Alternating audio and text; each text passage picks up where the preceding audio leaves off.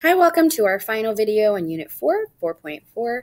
We are talking about exponent and logarithmic equations. We're going to get through a lot of different equations. We're going to use something called the one-to-one property and the quadratic. But beyond that, everything else we're using are the same basic properties um, and rules that we've been using in all these videos. It is a lot to get through, so I'm asking that you just persevere and you just keep on trying. Okay.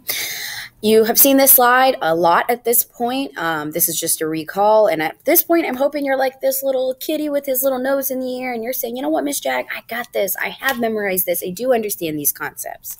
Okay, so again, like I said, we're going to be solving logs and exponents. We're going to use that one-to-one. -one. We're going to use properties to simplify, expand, and condense. We will do something with the quadratic formula. And always, always, always, always, always, please, please remember to check for your extraneous solutions. And what does that mean? It means once you solve and you get a solution, you plug it back into the original. Whether you're using a calculator or not, you're checking if it's a true statement. Okay, so here's my first one. And for this, we're going to start by explaining what that one-to-one means. What that one-to-ones means is you want to get down to the same base on both sides, and that's it.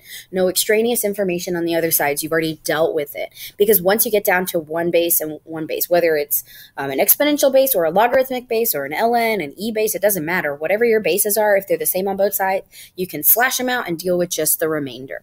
So what does that look like here? Well, I know that 36 can be written as 6 squared. So if I know that, I can rewrite this whole 36 as 6 squared. And what does that look like? It looks like this. So now I can apply an exponent property that tells me if I raise a power to a power, I just multiply those powers. So that looks like that. And now I have a one-to-one. So guess what I can do? I can delete that. I can cross that out and I'm left with 2x plus 2 equals x plus 6. From here, it's a simple solve. So I just subtract from both sides to get all my x's to one side and I'm left with x equals 4. When I plug that in with my calculator, I get a true statement. So this is not an extraneous solution. It is the solution. Here I have another one. Again, I'm trying to get one half to look like 64 or 64 to look like one half. It's always easier to get the bigger number to look like the smaller number, but getting 64 to look like one half is a pretty big leap. Um, but what can I do here? What can I do with this too? That's a negative exponent waiting to happen. So if I write it like this, that's a little bit easier to see. 2 to the negative c is the same as 1 half to the c. So now I can rewrite. Did you know that 64 is the same as writing 2 to the 6th? So I'm going to rewrite this as 2 to the 6th, 1 half, 2 to the negative c. And now I can apply this power rule right here. That becomes 2 cubed equals 2 to the negative c. So I have a 1 to 1, so I can cross out those 2's. So negative c equals 3, therefore c equals negative 3. I plugged that in with the calculator. I checked. I got a true statement back. Therefore, this is my answer. Now I have a you do for you. I will remind you that 16 can be written as 4 squared. And I hope that you work this problem out on your own and that you pause. If you are ready to answer, your answer is going to be negative 1 half. So I hope you check it. And if you didn't get that answer, I hope you retry and check one more time. All right, here's another example of solving some logarithmics, um, specifically what happens when there is no ln or a log or whatever on the other side. If it's just equal to a number, how do I get that? Well, did you know that I could take the log, I can take a base, I can take an e, I can take whatever I want to both sides. But for this, there's two different ways I could solve this. I could see taking e power on both sides. So that's saying e to the ln of x is equal to e to the 6. Well, now I have the same uh, basis, but what does this actually mean? e to the ln of x, e to the ln, hey, I can cross that out because that's ln base e. So that means x equals e to the 6, uh, sorry, 6th. And if I plug that in, that's approximately 403.43. The other way we could have seen that is, is remembering that there is a base e. And so I could say this as base to my equals is equal to x. So we could have solved it that way as well. It really doesn't matter which way you solve it. Here I have another one. Again, I'm going to get everything I, in my power down to get rid of everything except for that log and then go from there. I mean, I may end up having to take um, a a power 10 to both sides or, or something. We're not really 100% sure just yet, but it just helps to kind of start getting everything to one side. So that becomes 2 log of 5x equals 12. I'm going to divide away that 2 out front. So log of 5x equals 6. Well, now we're stuck. If I take the log of both sides, and that's going to be log of log, same ln, it's going to be ln of log, and that's not going to help me. But what is my hidden base here? So if I raise it to that power on both sides, now I can get rid of this. So that's going to become 5x equals 10 to the power 6, and I divide by 5, and there is what x equals, and if I plug that into a calculator, I get 200,000. Plugging 200,000 back into this original equation gives me a true statement, therefore that is the solution. Okay, here I have a you do for you. Again, I would tell you, um, you're probably going to want to take the e of both sides or set it up with its natural base. But the first thing you're going to want to do is divide away that negative 3. If you're ready to answer your question, I'm going to give you that solve, and that end answer is going to be you should have gotten e to the eighth, and that's an approximate 2,981. Okay. Okay, so for this one, again, I want to do a one-to-one because look, I have log base 4, log base 4, log base 4. So I'm already ready for success because it's the same bases. However, I have this product rule in between that I have to deal with. So if I rewrite that product rule, that's going to be log base 4. Ah, that's not what I wanted to do. Okay. Try that again. Okay, so that's going to be that's going to be, I went too far. Here we go. That's going to be log base 4 of 3 times x minus 2 because that's that product rule right there. And that's still equal to log base 4 of x. But look, now I have my log bases that I can deal with right here. So I can cross this out, I can cross this out. So I'm left with x is equal to 3x minus 2. Now you can finish this solve, right? That's going to be 3x minus 6, uh, subtract 3x from both sides. You're left with negative 2x equals negative 6, divide by negative 2, x equals 3. Plug that in and check, and you see that it is a true solution. So now I have this one for you. Um, no, this is still me. I'm so sorry. This is an I do. My bad. So here I look and I see, oh, hey, I have a log base on the same on both sides and they're both the same. I don't have to do anything else. Heck yeah. So I can cross those out. That becomes x squared plus 3 equals 52. I'm going to subtract my 3. x squared equals 49. So I square root. But here we have to note that x is not equal to 7, but it's equal to plus or minus 7. So I test both of those to make sure that that is they are both the solutions. Now here's one for you. So the thing I would ask you is you've got a log base 6 on both sides. What are you allowed to do? Now if you're joining me back for that answer, your answer should have been 1 or 2. Okay. Moving on to solving some exponential functions. So what can I do with this? I can do a lot of things with this. Um, I could convert it to a log technically that's something i could do. I could uh, take the ln or log of both sides. There's like there's a lot of things that we could do. And i'm going to go ahead and take the log of both sides and so what does that look like? That becomes log of 4 to the x equals log of 13. And why did I do that? And I could have used ln, it doesn't matter. But why did I do that? It's so that I can drag this x forward. That now becomes x log of 4 equals log of 13. And what can I do to get the x by itself?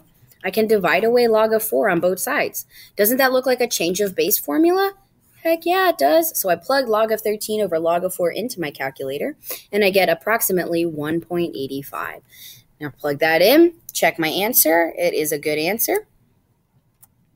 So now here's another one, but instead of taking the log of both sides, because it's a natural base e, I'm probably going to want to take the ln of both sides. So let's go ahead and do that. That's the ln of e to the fourth, oh sorry, e to the 4 minus 3x equals the ln of 6. Okay, well what's the ln of e? That's going to cancel out. So that's going to become 4 minus 3x equals ln of 6. That's a 6. And now I just want to get everything away from that x. So I'm going to divide by negative 3, divide by negative 3. And this is what equals x. So if I plug this into a calculator, I should get approximately 0.74. And that's my good answer. That's my end answer. So here I have a you do. Again, I would tell you to take the ln of both sides, see what you can do, go from there. If you're joining us back for that answer, your answer should be approximately 0.10. Okay, I've got one more example set for us to get through before we actually hit those quadratics. That's the kind of funky spot for us. So um, here, I'm going to take the log or the natural log of both sides. And just to change it up, let's go ahead and take the natural log of both sides. So what can I do here? This is a power rule, just like we did last time. I can yank it to the front. But if I yank it to the front, I want to make sure I put it in its parentheses so I can actually see it for what it is. And hey, look at that. Can't I distribute this ln now? Yes, I can. So that's going to become 3x ln of 4 minus ln of 4 equals 2 ln of 3 minus x ln of 3. And now you might be thinking, wow, that's a lot. What am I going to do with all that? The biggest thing you're trying to do is just getting that x by itself. So I'm going to isolate. I'm going to add anything with the x's to one side.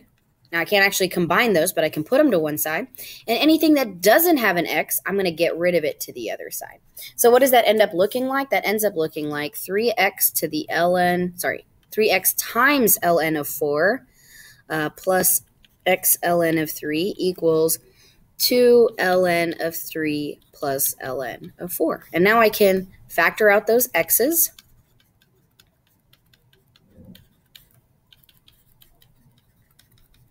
And divide away all of this nonsense. Because that's now what x equals.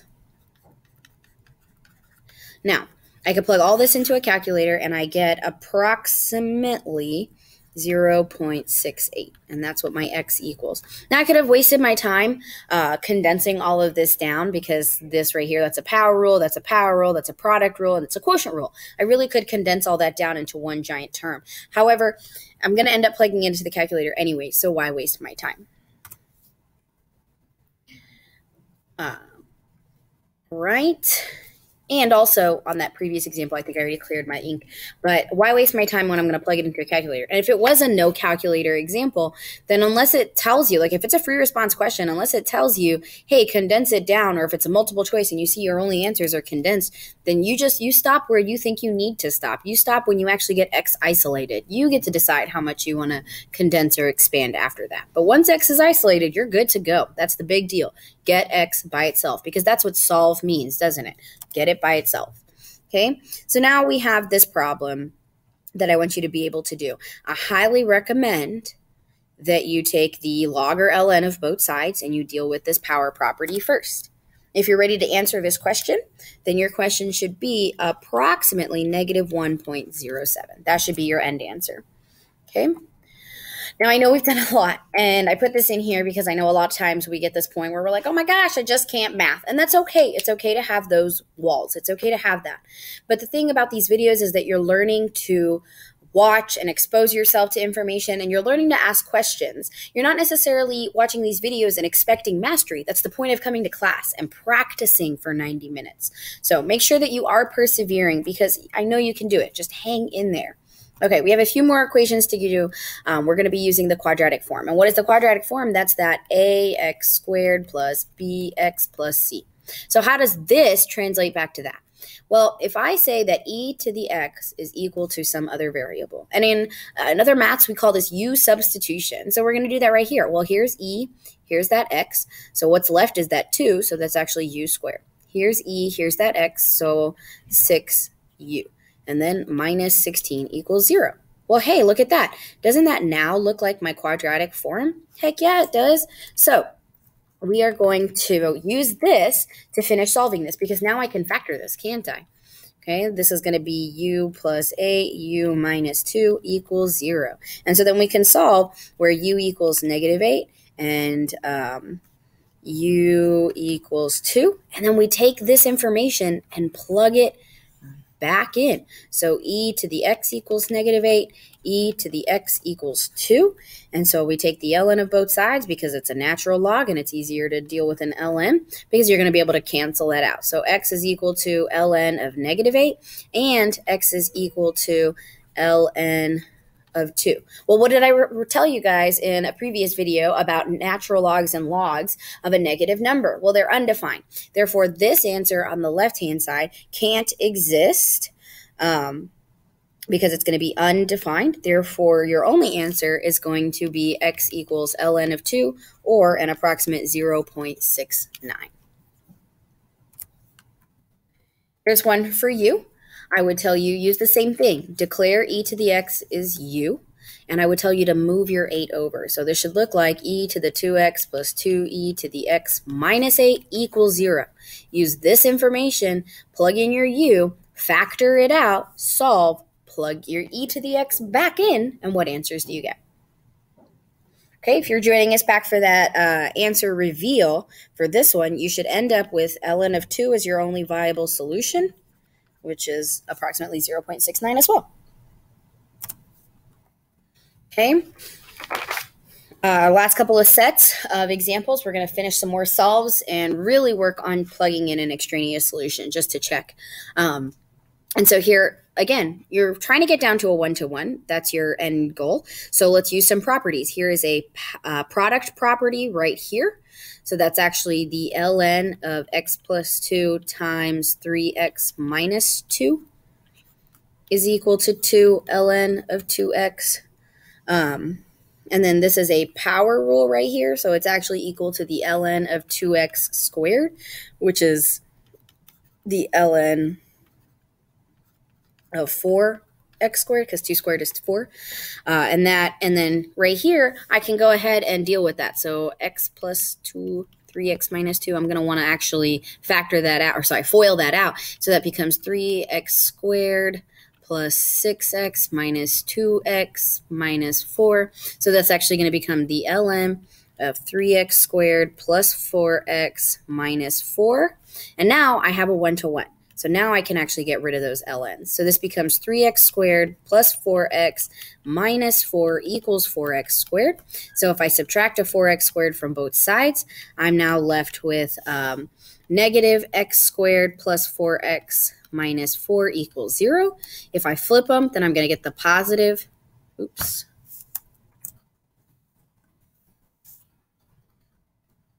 And now I can actually uh, factor this out into x minus 2 and x plus 2. Sorry, x minus 2, x minus 2. And so that means that x is going to equal positive 2 and you plug that back in. You can check this solution in the original um, equation, or you can confirm it graphically by locating the intersections of these uh, two points right here, of this equation and this equation. You could locate their intersections graphically and see that it equals 2. Okay? I know that was a lot to take in, but I do hope that you try your you do with this. This is the quotient rule. I would remind you, it's not quite the same as the product. I can't spell quotient, but that's the quotient rule. So uh, just to help you out, that should look like that's a 7. Could you solve it from there? That's what I'm hoping. Could you maybe solve that? Okay. And my final example that I'm going to do is an extraneous solution. Um, I'm actually going to plug it back in and show you the check because all this time I've been plugging it into a calculator to show that check. So here we have log 12 bases on both sides. So what I'm going to do is use my product property to get rid of that plus sign. So that's log of 12 of 12x times x minus 1 equals 2. Um, so now if I distribute, I can go ahead and say this is log base 12 of 12x squared minus 12x equals 2. And I'm going to use what's called the inverse property. I know I didn't speak of it much before, but I'm going to go ahead and show it to you now. And that's um, recognizing that this could be, this 2 right here could be rewritten as log base 12 of 12 squared. And we saw this property in our properties of logs. However, I never showed you how to go back to it. Because look, if you look at this log base 12 of 12, that whole thing is going to disappear and only you're going to be left with the 2. So now I can write that and now we have uh, a one-to-one -one property on both sides. But I do have to know what 12 squared is, which is 144. So now that I can actually get rid of these log base 12s, I can see that this is 12x squared minus 12x equals 144. And I can subtract that 144 over to get it equal to 0 so that I can actually um, factor. And so that factor, because I'm going to pull out a 12 first, is going to be x minus 4, x plus 3, equals zero. And if you're struggling with your factors, I ask that you pause and see how I got from this step to this step. Can you do it the same way? Can you get the same uh, factor? Because if you can't, you might have to go back and watch that algebra video on factoring. So now I get two solutions of x equals positive 4 and x equals negative 3. But now it's important to actually check those. So we said that it was 4 and negative 3. So let's plug those in. Log of 12 of 12 times 4 plus log of 12 of 4 minus 3 equals 2. So this is now log base 12 of 48 plus log base 12 of 3 equals 2, which is the same as saying log base 12 of 48 times 3 equals 2 which is the same as saying log base 12 of 144 equals 2. Well, hey, what do we know about 144? That's the same as saying log base 12 of 12 squared equals 2. And what do we know? This whole thing can cross out, so 2 equals 2. Yes, that is a correct solution. So we at least know 4 is correct. So we still have 4 and negative 3. We know 4 is good. Now we're testing negative 3. Log base 12 of 12 times negative 3 plus log of base 12 of negative 3 minus 1 equals 2. This is the same as saying log base 12 of negative 36 uh, plus log base 12 of negative 4 equals 2. And we have a negative number here and a negative number here. Those are undefined cannot equal 2. Therefore, this was not correct. Our only answer was 4. And you can see that x equals negative 3 is our extraneous solution. It is not allowed. So this is why it's so important to double check your solutions. Whether you get one solution, two solutions, 10 solutions, check all of your solutions. Okay, here is your you do. Um, I hope you deal with this quotient property first before seeing your one-to-one -one of those LNs. If you're joining us back for the answer for this one, the answer for this, you should have only gotten an answer of three. Make sure you're double checking your extraneous solutions. Okay, so some closure. Um, this is the end of our unit four. Uh, we talked about solving logs in this as well as solving exponents. We use that one to one, which means do everything in your power. Use simplification, expansion, condensation. Use everything in your power to get to the same basis, whether it's exponential basis, log basis, or ln's. It doesn't matter. Do it, whatever you got to do to get it down. You can also use the quadratic formula using that u substitution. And finally, finally, finally, always check your extraneous solutions. Thank you guys, and I will see you in class.